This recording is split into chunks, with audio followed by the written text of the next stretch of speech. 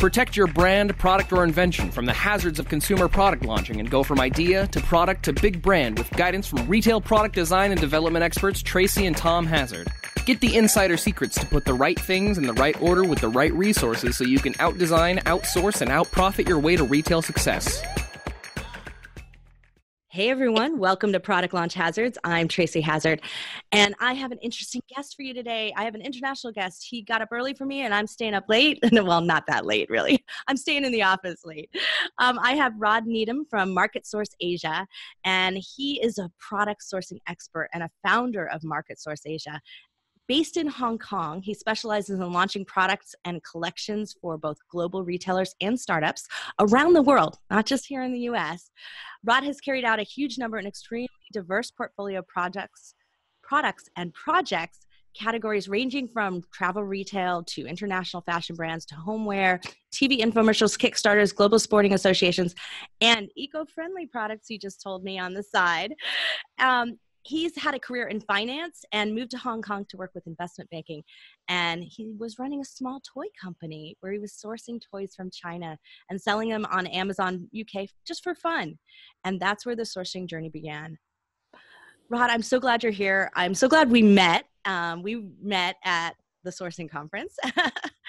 and so we sat next to each other and you didn't realize I was a speaker. And then the next thing we know, we are like starting a conversation and really had an enjoyable time getting to know you. Yeah, it's great to be here. Thanks, Tracy. Um, yeah, we did. We uh, we met at the Global Sources Conference, and uh, I remember we we actually sat together at lunch. Yeah. And, uh, we were just chatting and just talking about all things sort of sourcing and retail and developing products and stuff. Yeah. And uh, we were talking for so long that we didn't even get back to the next uh, the next speaker. We were, we were a little late. yeah. Yeah, so, you know, had a good chat that's my favorite part about conferences though is to getting to meet someone who you wouldn't meet otherwise. So you're you've been how, how long has uh, has your company been in play? So how long have you been sourcing really? About market source been around about four years three yeah. to four years. Um, the sourcing journey began before then but it was kind of a accelerated uh, journey with market source because of the way that things transgressed with the amount of clients we were able to obtain quickly and then we we launched a heap of different products and went through a whole different uh, group of categories very, very quickly. So we got a, um, a very, very steep learning curve and we're able to sort of uh, refine our sourcing uh, strategy and become, uh, become specialists uh, very, very quickly because we had no choice. Um, so it was a very, very in-depth um, start for the first, well, first couple you know, I think that's a mistake that a lot of people make. It's like they look like they get their feet wet within one category or one type of product and they think I'm good, but they don't really realize that as you start to expand into other categories, there's a there's not an economy of scale. It's like starting all over again. You got a whole new sources, a set of factories, a whole new set of quality control factors that you maybe have to learn. Like it, it's complicated. It's not actually simpler. Definitely. It's one of those things where you almost have to start again with a new product and learn about learn about the ins and outs of specifications, what uh, certifications are needed, what particular regions, what testing requirements are needed. So for to be able to, as the sourcing part is one part, to be able to find and validate the right factories in that particular network. Um, but the other thing is getting to know the product well so that you're able to sort of um, foresee any issues going forward. You can't just pick a product uh, you know, flick it to a factory and, and then hope it's going to be, uh, hope it's going to sell or hope that you're not going to have any bumps in the road because, as you know, you hit a hundred million bumps in the road and it's being able to sort of uh, foresee them before, put set up certain, you know, things in place so that you can um, mitigate mitigate the risks and be able to do that on a on a, a heap of different sort of categories all at the same time. So yeah. it's uh, that's why i'm a big fan of working with companies like yours because because you have experiences and what happens over in other categories you do learn and plan in um, or you have materials that cross and so you start to find out oh these materials are issues if we don't quality control them. So you have a lot more deeper knowledge into the into how you can be more successful and reducing those pitfalls that happen so that's why i'm a big fan of like the that broad experience but also narrow niche experience too so you got yeah. a little bit of both a lot of it is transferable over. So you, you, kind of use the same sort of model and the same techniques and everything to to apply across a heap of different categories. Um, so you, you, do you do use a sort of consistent way on best practices and things like that. Um, and then and then you dive into the actual product specs that uh, yeah you can, you can definitely um, sort of standardize certain things so that you're able to spread your um, your expertise. But also there's one of those it's one of those things where once you see something once, you you can then apply it and you and you recognize it. So you see something come up in a certain product and you go like, oh, we've seen that before on this product, and you can then you can catch catch certain issues early and things like that.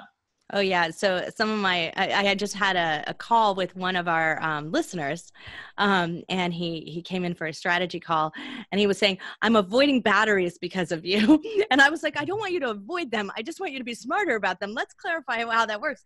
I didn't mean to scare everybody about batteries, but in in, it, he doesn't need rechargeables, which are more risk, right? So there's mm-hmm. a lot more risk there. So I was like, but that comes from, you know, massive ba- failure and experience and knowing that there's a big problem here. So yeah, exactly. Well, talk about yeah, I've seen that problem. This is going to be an issue, right? Or a cost factor. Like that's the other thing. When we look at something, because we have such broad experience, you get to know this is going to be a cost creep like it's mm-hmm. going to creep over time because the material costs are going up or because things are happening.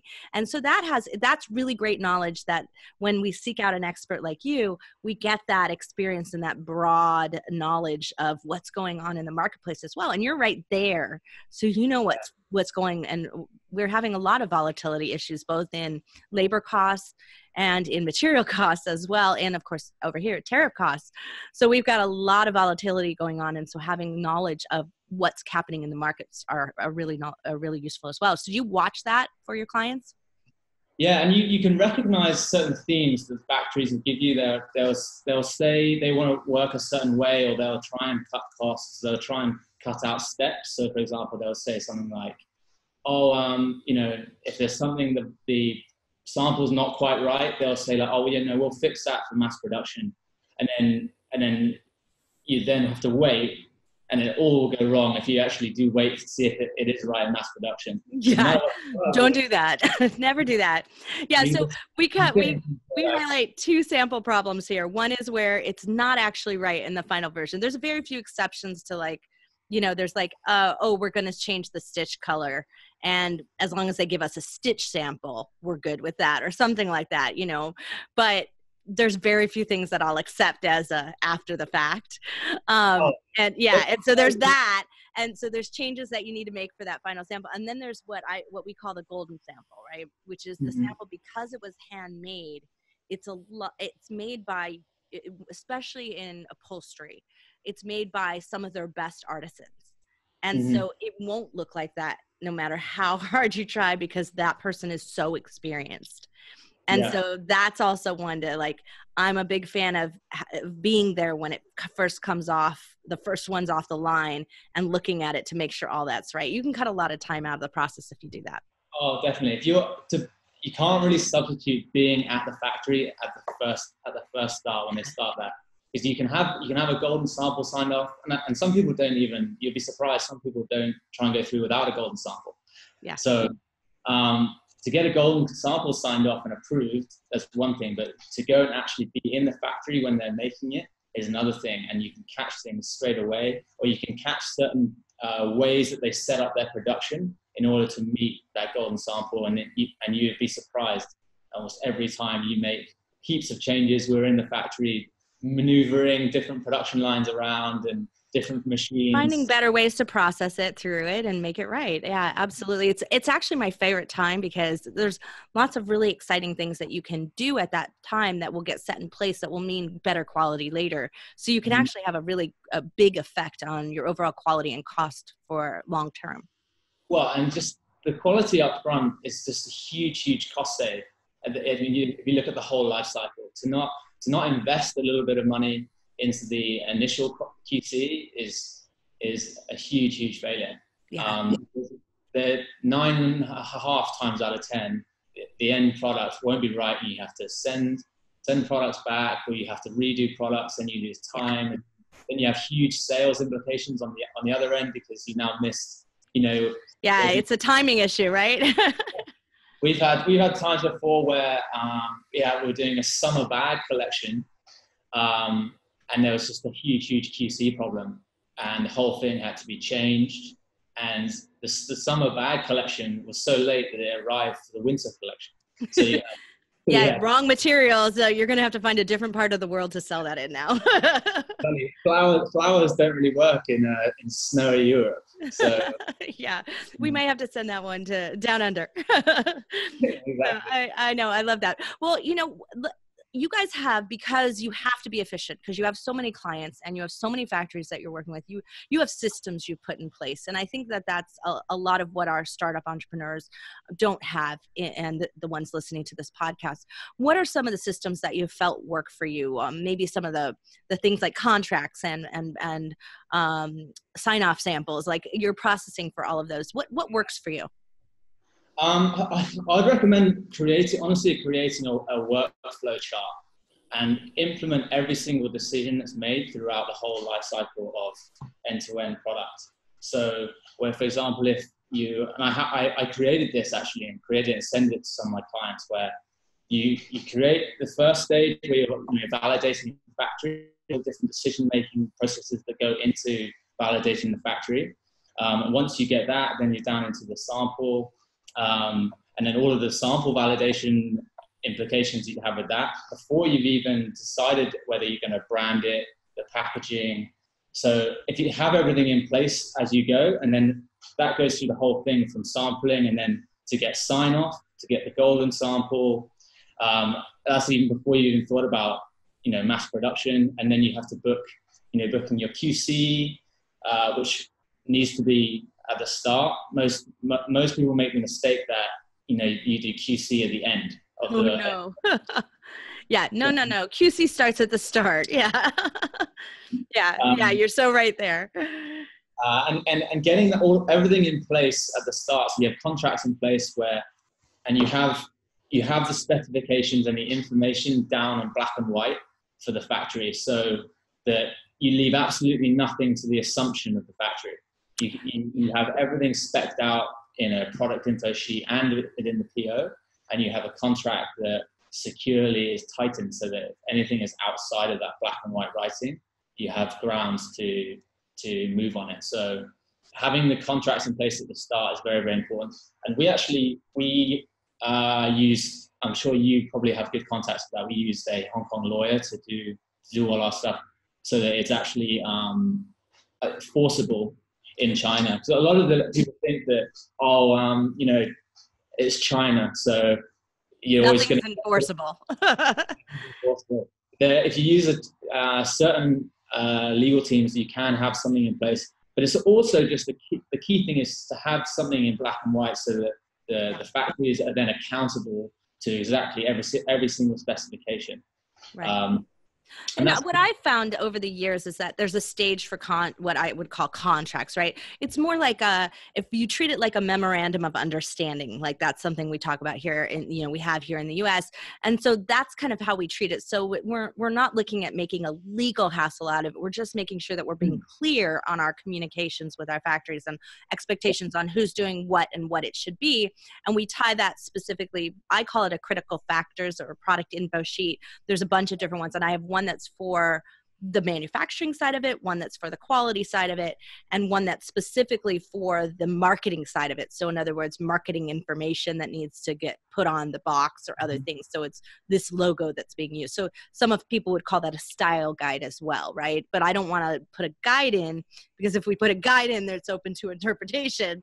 I want exactly. this it right so so we have those three pieces and they happen at three different times in the design in the design and development process so that way we are keeping and adding so our memorandum of understanding can fluctuate as we learn more about the mm-hmm. process so it's like you said it's, it's it's less probably less about the actual legality of the contract yes. but it, it's about setting the setting the tone and setting the, the standard for the factory to keep. And also, if you're a, you know, a startup or you're, it's your first time working with a particular factory, then it just it demonstrates that you're serious and it's an official, an official agreement that you're keeping them accountable to. whether you know actual legal teams end up having to get involved at the end is usually very very unlikely and doesn't really happen. But it's having that uh, that backup is actually what what starts the whole relationship on the right foot. Um, and then I agree. from there. So, and then it's obviously, of course, about you know building the relationship with the factory. On top of that, you don't want to be like, oh, we're just gonna we're just gonna sue you, or we're, just, we're gonna waving this contract around saying we're keeping you to this. You want to have that so that they, they know exactly what's expected of them, and then you build a good relationship with that factory so that you're then trying to help each other. You know, try and create as many sort of win-win situations as possible so when things, because inevitably things always do go wrong in the factory. So you need to be able to have something where you're working towards where you can both um, both benefit rather than just you know you have some sort of brittle relationship where the moment they put a foot wrong, then you come at them with this giant giant contract. Uh, do you do you guys do sign actually physically sign your samples and things?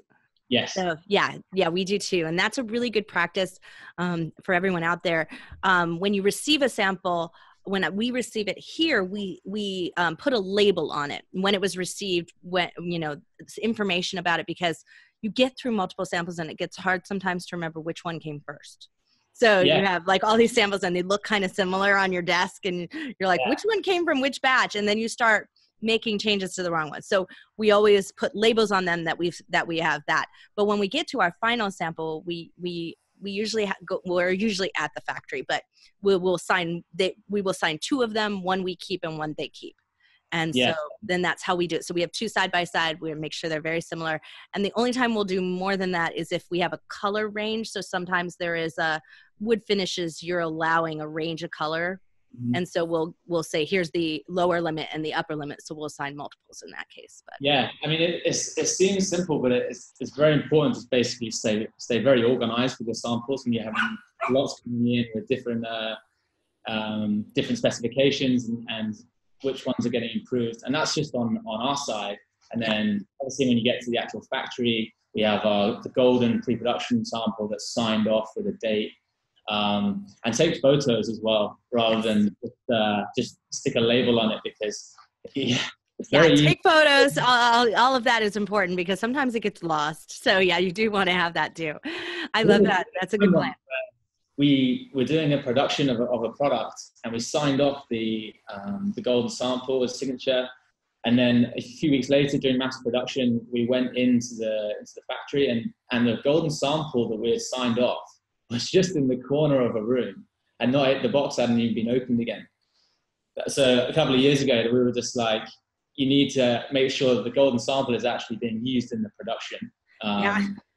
And, and that your QC teams uh, are very, very familiar with it. Well, so, so, sometimes with my bigger clients, they have QC and um, QA teams, so quality assurance, not just quality control. And the QA teams usually maintain the control of those samples, whether it's in a factory or not and so mm-hmm. it will be they usually uh, the factory usually gives big qc teams a room within their yeah. within their office yeah. space and so the samples are usually contained in that room then they get pulled out the minute there's an issue or the minute there's a question about whether or not something looks exactly like it's supposed to yeah but there's no there's qc qc teams obviously super important if, if you use a third party one or you use you know in-house one there's i always feel there's no substitute for being there yourself as well yeah. so we use QC teams. We have a partner that we have, you know, sort of internal. We partner with this QC um, third party for our company, and they're there all the time, and, and they're very, very good at, at, checking the physical products and the specifications. Um, particularly when you're doing a like us, we have quite a diverse range of products. I, for one, I'm not an actual QC expert on you know jewelry to to makeup to. You, can't be all of those things, right? so to have a QC team that is large enough that they have to have specialists in certain um, categories to check physical products and the testing and things like that is very important. But for me to be there at the start to know actually the, the whole con- concept of the production and how it's going to work is there's no substitute for that because the QC teams are technically good on the product, but you know they will let, well, won't advise as much on the layout of the whole production and, and what goes where and, and, to prevent things from uh, from going wrong. So yeah. having uh, we will have always have us there as well as a, as like the QC specialists. So I want to talk about the development process for you though, because uh, you know most I think people who are are expanding out of Amazon private label and into doing more more products and broadening their lines and everything, they're very daunted by the idea of I can't just quickly buy this from Alibaba or I can't just quickly buy this and just move on it. That there's a development process and it does take time and Definitely. you know how do you combat that? How do you work with that? Are you just you know really set in place a understanding that this is what it's going to take to make it right? Yeah i mean we in marketing source actually we're quite a collaborative company so we will work with uh, like engineers. If we if depending on the complexity of the product we'll work with engineers that will be able to map out a full timeline of what is actually going to take to get this product created through the prototyping stage. So you're um, giving them a sense of that to begin with. Yeah, so we're giving them a, a huge sense because a lot of the time it you have to be realistic and say that for a very technical product, it's going to cost you fifty to fifty thousand dollars to to make this, and it's not not going to be uh, developed for six months to a year. Right. Um, and then, but you map out every single stage of the process, month by month, of what what it's going to take to get there.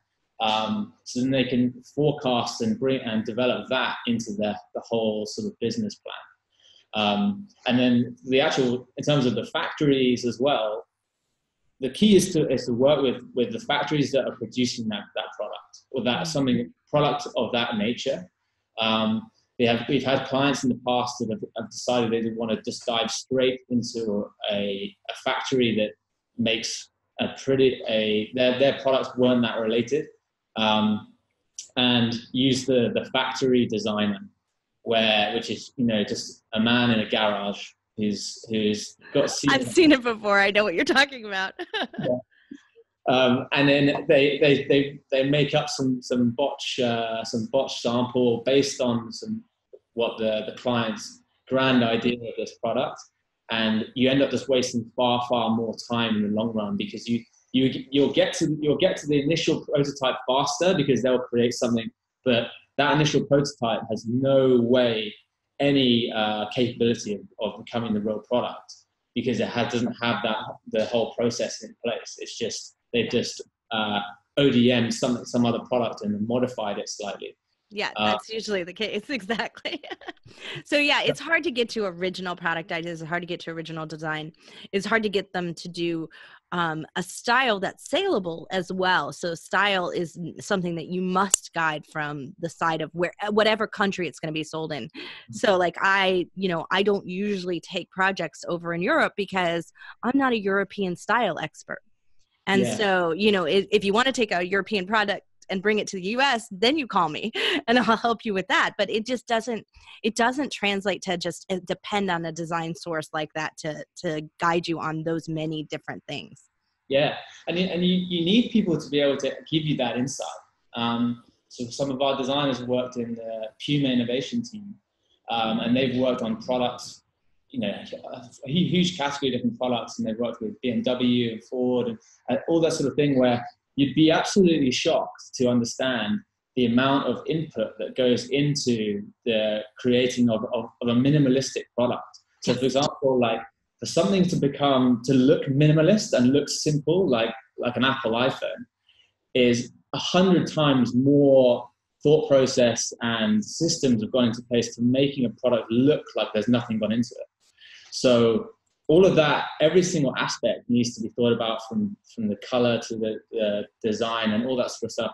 Where you wouldn't have thought that if you just if you have an if you're an entrepreneur or a startup and you have a, just a vision for a product, you need that insight to be like, this is why the customer buys this product because they and subconsciously, this is why they buy it, not knowing why they're buying it, and that needs to go into the design process. Um, but like I said, it depends on the product. We work with sort of technical ones where we really use these engineers to go into detail of just mechanics and things like that. But for example, um, we do some back back kids backpacks. Well, so this this just happened in the call today, so I won't reveal because it's a private call, but from one of my listeners, and and what they were saying is like you know this is a common thing i hear It's like oh i want to make sure and make sure that it's smaller than amazon's um, size constraint and you know and i was like well that's a really good thing because you don't want to tip over and end up in their oversized category right because you screwed up and, and made it a half an inch too big or something like that yeah. or or worse a millimeter or two. I've seen that happen too. And so you don't want to make that mistake. But that's not the core criteria because their product has to fit onto something else. That something else and surveying the market on the size of that is actually the critical factor. And so he hadn't thought of that before. And mm. that's exactly the kind of thing that a good designer has an awareness of. This has to fit with this or consumers won't buy it. Um, they'll be you know or or they'll return it because it didn't fit at the end of the day. And it's not something that mattered to you because you were making something in isolation. Definitely. You have to think about the whole the whole end scale. And even on a, on a more technical level you have to look at what testing and certifications are needed for that particular region.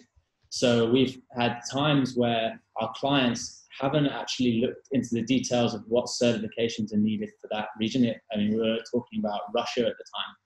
Um, and they is you know, this they, a story about how you might have ended up on Russian TV? I, I read that in your bio that you sent me. So I definitely want you, this is that story. I'm anxious to get to it because that was my next question. Okay, yeah. Um, so one of our, so when, with Market Source, we, we got a contract with uh, a big retailer in, in Europe um, uh, towards the beginning of the company. Uh, and this, this company has sort of eight, eight different brands, 300 retail stores, thousand, you know, a million um, hits on their website a day, sort of thing. Um, and they also, the other thing they have is uh, a QVC type home shopping channel. Yep. To the one. And one, we were, uh, I did get a notification. we were, um, we were launching a, we were launching a collection for them. Uh, it was a jewelry collection. So we've done a, we've done the full design and developed the, the, the line for them. And they were launching it on their TV shopping channel. So they thought it would be, you know, impactful to have the designer come to Moscow and come onto the live TV uh, show and present the collection. So that's that's what I did. They uh, I flew over to Moscow. But the interesting thing about that one was the brand uh, it was a, a women's fashion line, uh, but the jewelry, the jewelry, they wanted to have it in Russia. Like fashion is not a thing. You know, there, there were these these ghastly big gold pieces. Um, so there were these big sturdy necklaces and big bracelets. Um, so for someone in, in, the UK or or the US, um, it wasn't exactly uh, it wasn't exactly uh, fashionable. So our delicate and, fashion that we have here, yeah. yeah, and and the other thing was they wanted it to be sturdy, so they wanted it to withhold sort of these drop tests and things like that. So one of the things they tested during the production was they wanted to do like a two meter drop test. Like, and that's such an obscure thing that you wouldn't know if you weren't working with them time and time again, right? I love that. Yeah. So we, and also you have to do pretty well to have a piece of jewelry to withstand a, a two meter drop test. You know, uh, I think so. One of the things they wanted to do was uh, have this shown on the on the actual TV show. So, and in the in the development of the of the uh, the line, we had done this drop test, um, and of course, you know, dropping a piece of jewelry from two meters on on a on a hard uh, wooden board, it broke so we had to do some development on this product to fail this drop test. And it was very touch and go because it's already failed. And we had the, the factory come out and it was, they, well, they said they changed the glue. So it was this 24 hour glue they put in, which obviously we didn't believe. So we had to try and had to put them in these prongs to, you know, keep this, uh, this pearl piece. It was a pearl necklace, to keep this pearl piece in.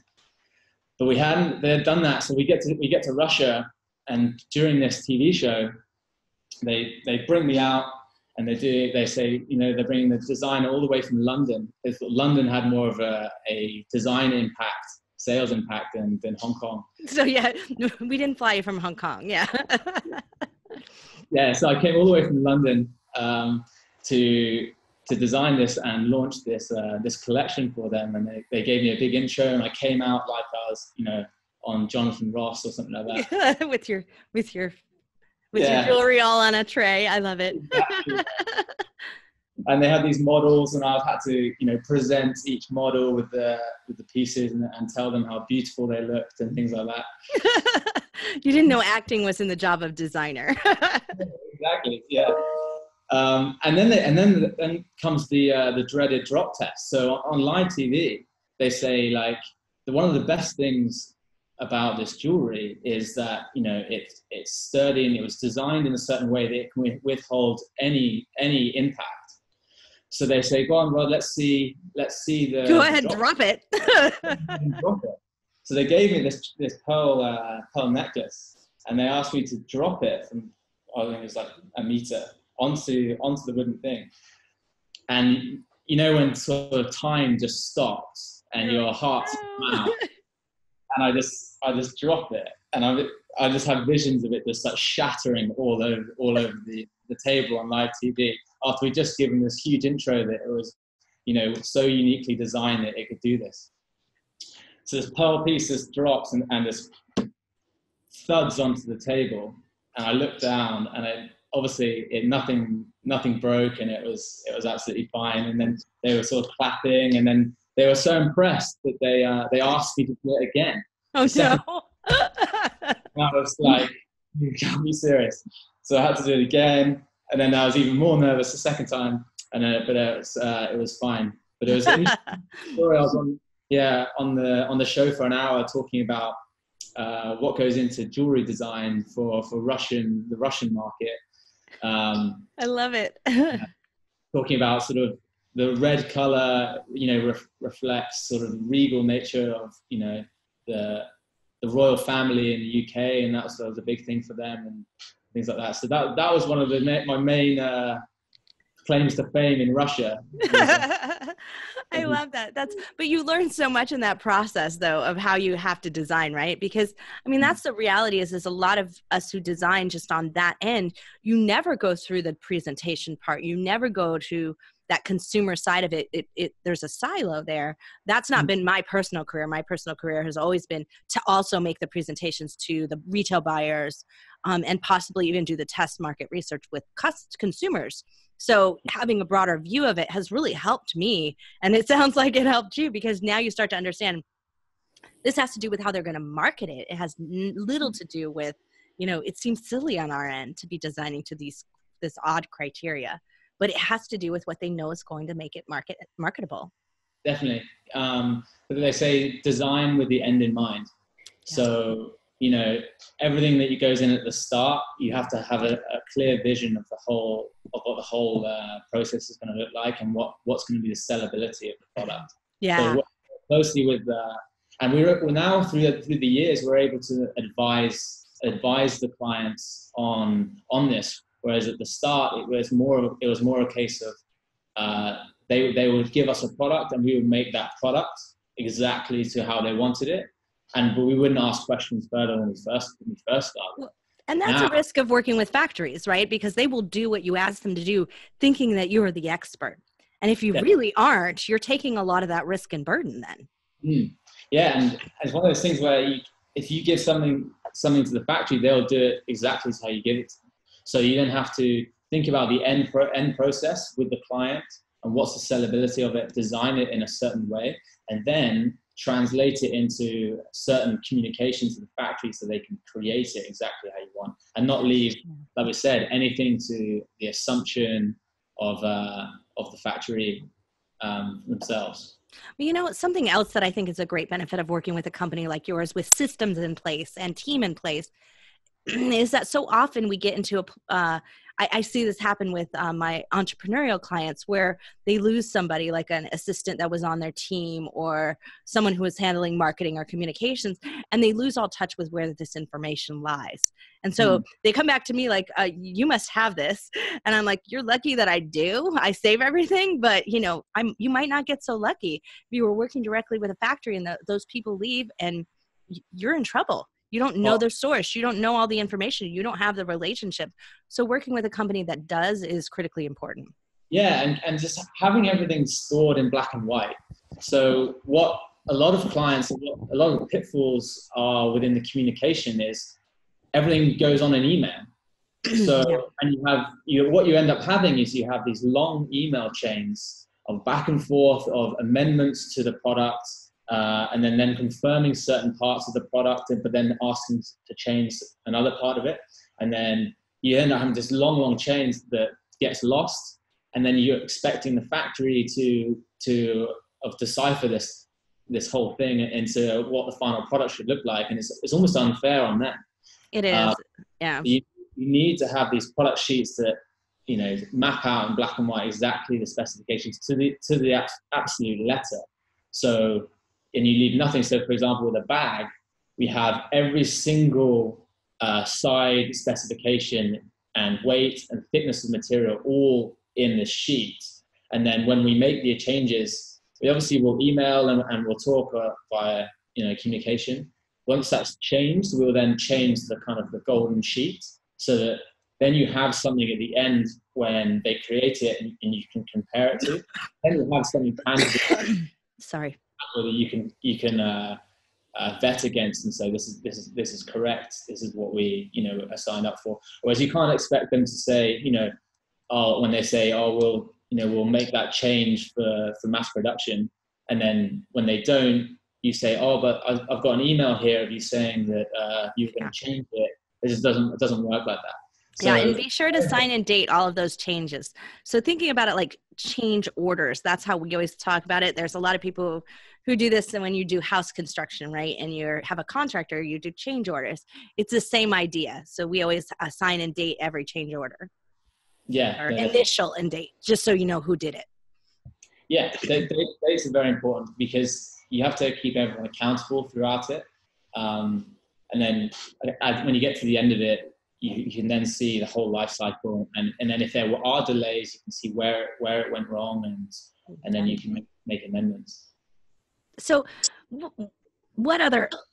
you've talked a lot about hazards, about some of these pitfalls and other things, but is there anything that like stands out as a really interesting story, funny story, things where you like go, oh, I wish we knew more. I like it was on us, it was on our client, but wow, I wish we did this different.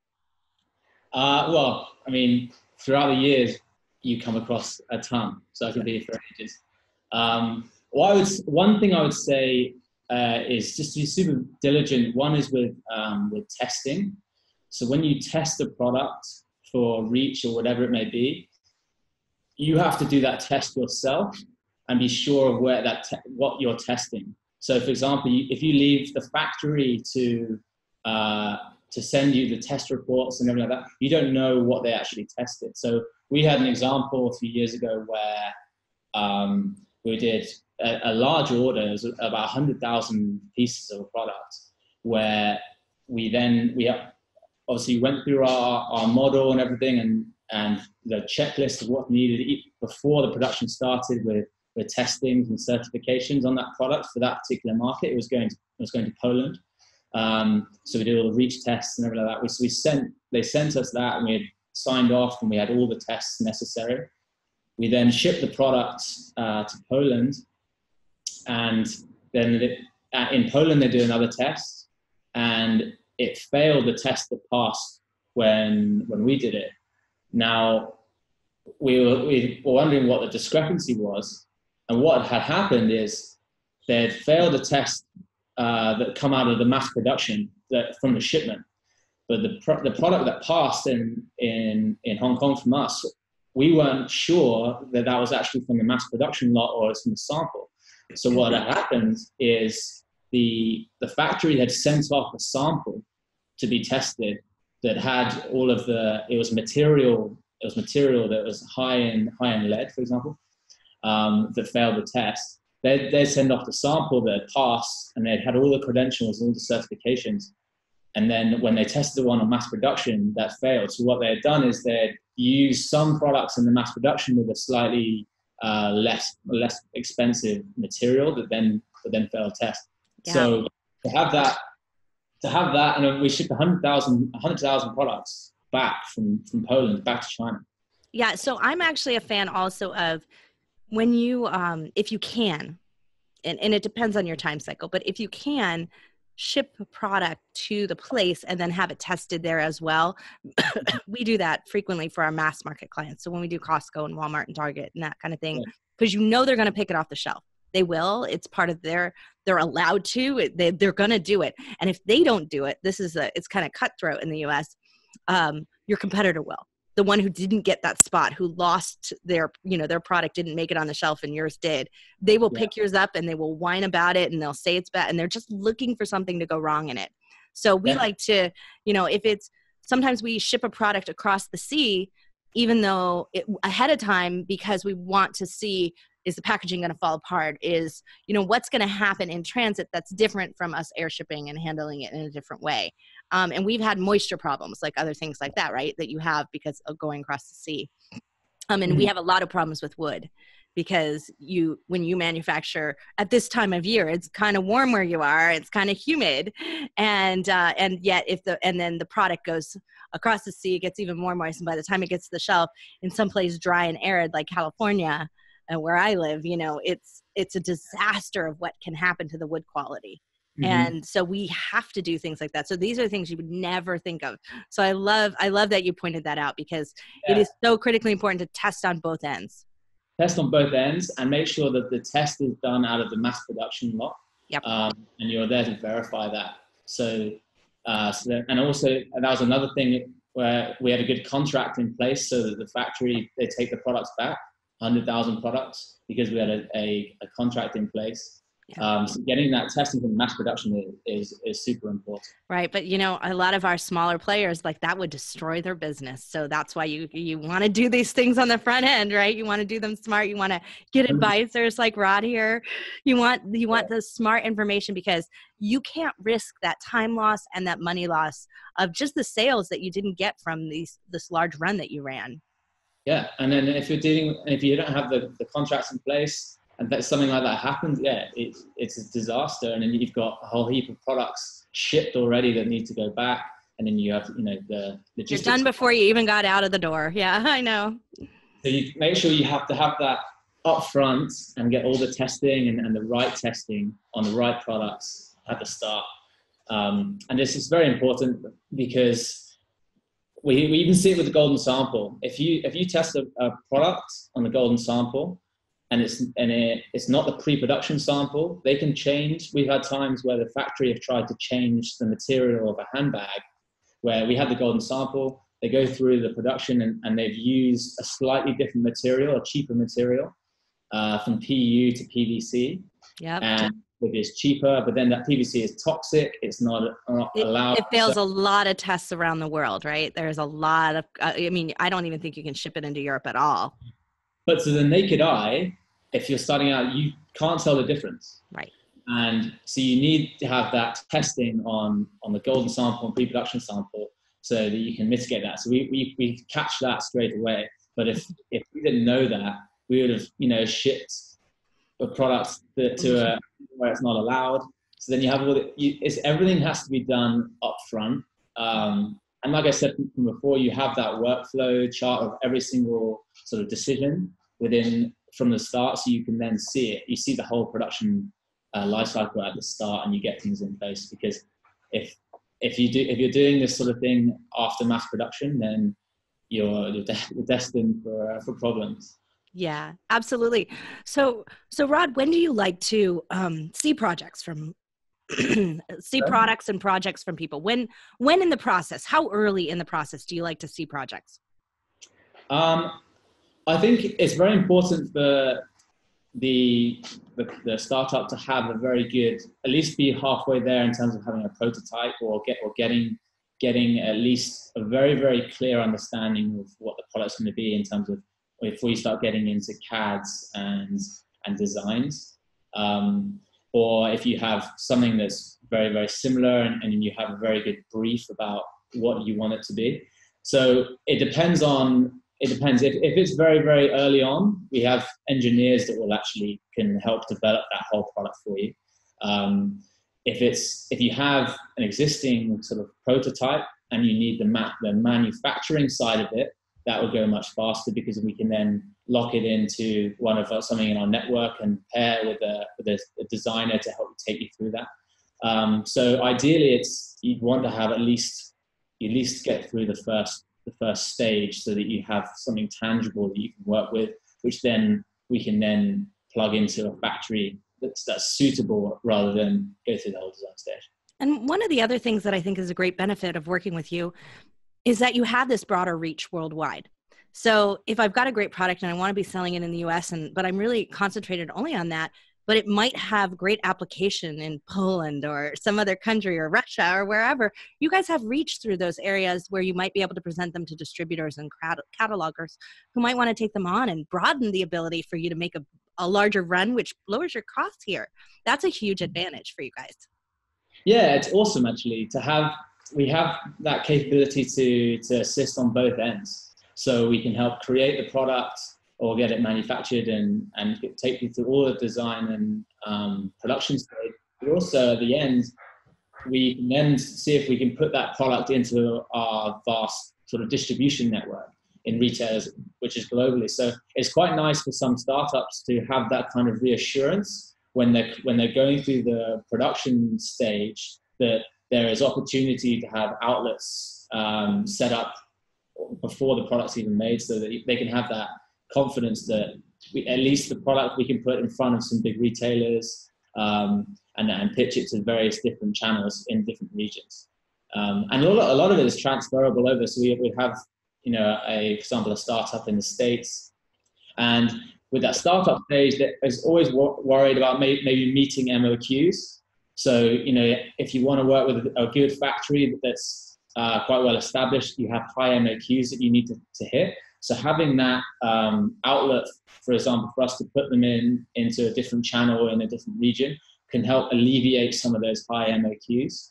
Um, to help get minimum order quantities for those. I like to define it in case, yeah, some at least once minimum order quantities for those. But yeah, you're absolutely right. Like it, you know, it's great, and and because you might be able to work with multiples, it might help you. You, you can also help build an MOQ over time. So, in other words, within six months, we're going to be buying these volumes because it's going to hit these different countries, and you can get faster shipment and, and smaller MOQs up front for for needs. So you can also spread that out. So that's really great leverage that you have um, and can help your clients with. So, Rhod, I'm so glad you came on the show today. Is there anything else you'd like to share with my with our audience before we go? Uh, I would say just get get started. It's uh, it's not a better time in the whole of sort of human history to to get uh, started on your own sort of entrepreneurial endeavors and, and start a product or start a, start a brand, um, particularly now with e-commerce and things like that. So, and there's there's so much out there for you to be able to um, collaborate and, and learn from different people and get different um, experts helping you with each different uh, aspect of the whole process, like yourself. So, I would say just just get moving and uh, and you'll uh, you're in a great in a great spot to uh, be able to to capitalize on this time. Well, thank you so much, Rhod. Rhod Needham from Market Source Asia. All the links um, for his company and how to find him um, will be in the blog post for this episode at productlaunchhazzards.com. Um, you can also reach out on social media and connect with him and with us um, through uh, through Hazz Design. It's at Hazz Design everywhere on social media. Wow, I, am sure we're going to have you back again. I'm sure we're going to have some great success stories. Want to hear some some more in the future. So, Rhod, thank you so much for this. I look forward to talking with you again soon. Awesome. Thanks very much, Tracy. Everyone, this has been Product Launch Hazzards. I'm Tracy Hazzard, and we'll be back again with someone new in about a week. Take care. Thank you for joining us on this episode of Product Launch Hazzards. To get the most out of your membership, visit productlaunchhazzards.com to join the expert office hours live and ask us your burning questions. Check out the resource library for document templates and guides, and get exclusive articles and shares each day. Don't forget, you can always book a private consult with any expert so you can outdesign, outsource, and outprofit your way to product launch success.